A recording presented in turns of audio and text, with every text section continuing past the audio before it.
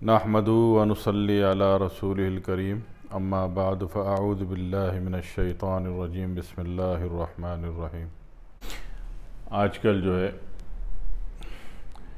एक बहुत ज़्यादा प्रॉब्लम आ रही है लोगों को कि सर्दी ज़्यादा लग रही है ठंड ज़्यादा लग रही है जिसम कप कपा रहा है सीने में पसलियों में दर्द महसूस हो रहा है उल्टी बार बार आ रही है और कुछ अफराद को मोशन भी आ रहे हैं और कुछ अफराद को सांस के भी मसाइल पैदा हो रहे हैं, ठीक है इन जैसी कैफियत में सबसे पहले समझ लीजिए कि सर्दी दो किस्म की है, एक आसाबी सर्दी, आसाबी उजलाती, जिसमें पानी की कैफियत है और हो सकता है कि नज़ला और छींके भी आ जाएँ।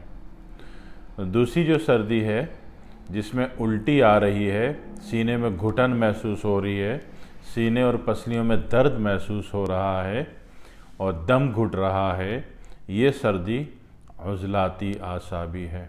पहली आसाबी उजलाती थी। दूसरी, उजलाती आसाबी है। परेशान नहीं हो। इलाज दोनों कैफियत का एक ही बन जाएगा, ठीक है? तो ऐसी किसी भी कैफियत में सबसे पहले तो आप एहतियात पर आ जाइए। ठीक है, एहतियात करेंगे तो इलाज से ज़्यादा फ़ायदे में रहेंगे। और अक्सर अवकात तो एहतियात आपको इतना फ़ायदा दे देती है कि इलाज भी नहीं करना पड़ता। तो एहतियात के अतबार से सबसे पहले तो समझ लीजिए कि फ्रिज की, रेफ्रिजरेटर की, डिफ्रीज़र की कोई भी चीज़ ठंडी नहीं खानी आपने 27 जनवरी तक, ठीक है? और हमेशा के लिए याद रखिएगा। ठीक है? आज की बात नहीं है। आजकल के हालात की बात नहीं है। हमेशा के लिए याद रखिए कि 11 अक्टूबर से लेके 11 अक्टूबर 11 अक्टूबर से लेके जनवरी तक यह आपने पाबंदी करनी है, पाबंदी रखनी है कि आपने ठंडा पानी नहीं पीना। फ्रिज, डिप फ्रीज़र की कोई चीज़ नहीं खानी, पीनी, डायरेक्ट नहीं खानी, पीनी। जब तक कि वो रूम टेम्परेचर पर ना आ जाए, या उसको चूल्हे पे गर्म करना पड़े, ठीक है? दूसरी बात यह कि कोई भी कोल्ड ड्रिंक और खट्टा जूस नहीं पीना आपने। आप अपना जूस बना के बग़ैर बर्फ़ के पी सकते हैं। यानी कि आपने पपीते का शेक बना लिया, चीकू का शेक बना लिया, खरबूजे का शेक बना लिया, खजूर का शेक बना लिया, वो ठीक है। केले का बनाना शेक बना लिया वो ठीक है ठीक है ना? लेकिन ये है कि आपने आ, जो सैट्रिक एसिड वाले पैक जूसेस होते हैं वो नहीं लेने। किसी भी सूरत में किसी भी हालत में नहीं लेने। और आइसक्रीम भी नहीं खानी ठीक है? जनवरी तक आइसक्रीम भी नहीं खानी आपने। तो अगर इन एहतियात पर आ जाते हैं तो फिर इलाज बहुत आसान है।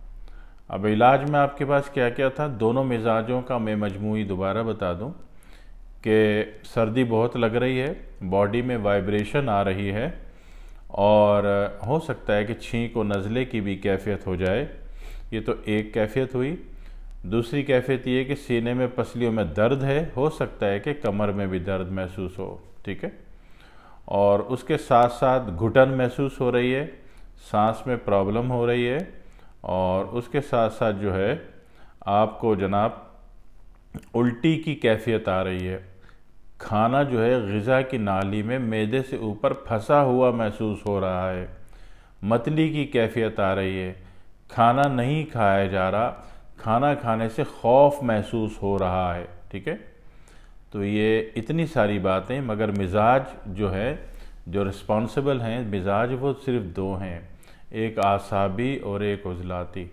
तो इन तमाम कैफियात में, अलामत में, सबसे पहले आपने एहतियात की, जो मैंने आपसे आरज कर दी। ठीक है? एहतियात के बाद, इलाज बहुत आसान है। इलाज आसान है। इन तमाम कैफियात में, एक इंच अदरक का जुशानदा एक इंच अदरक का जुशानदा पी लीजिए। इंशा नीम गरम, एक इंच अदरक लिया उसको कुतर के या छील के या क्रश करके आपने उसको एक गिलास पानी में इतना पकाया कि पानी आधे का आधा हो गया।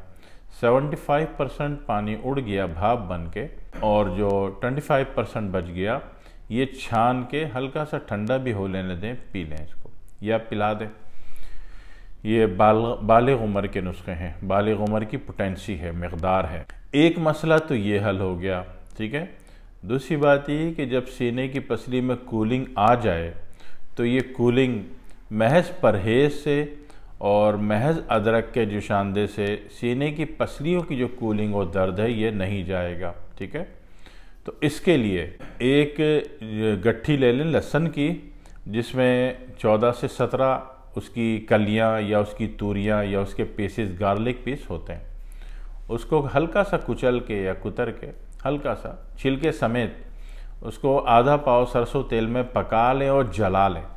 ये तेल तैयार हो गया। पूरी सर्दी के मौसम में जब भी सीने में दर्द हो जाए, सीने की पसलियों में दर्द हो जाए तो फिर आपने ये तेल गरम करके मालिश करना है। बड़ी नरमी से ज़ोर लगाने की ज़रूरत नहीं है, ठीक है? और उसके बाद कोई कपड़ा ढांप दें, मोटा, भारी, गरम कपड़ा, आधे घंटे के लिए।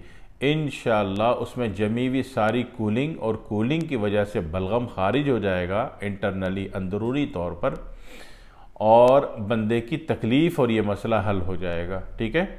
बीमारी आप गौर करें, इतनी सारी थी, लेकिन मसला एक पीने की चीज़, अदरक का जो शानदार, और एक लगाने की चीज़, लहसुन का तेल। बस, आपके ये पूरे 12 पॉइंट 12 इमराज 12 तकलीफ़ें ख़त्म। ठीक है ना? सर्दी ज़्यादा लगना, उल्टी मतली आना ठीक है? और सीने की पसलियों का दर्द, ये सारी चीज़ें ख़त्म। ठीक, घुटन महसूस होना, वो भी इसी से ख़त्म होगी इन ताला, ठीक है? अमल ज़रूर कीजिएगा। अल्लाह आपको फ़ायदा दिखा दे, आपको यकीन हो जाए, आप अपने हर इंसान दोस्त के, दोस्ती निभाते हुए हर शख्स को बता सकते हैं, उसका भला कर सकते हैं। अल्लाह आपको जजा खैर अता फ़रमाए। दुआ में याद रखिएगा। वसलम वरहमल वर्का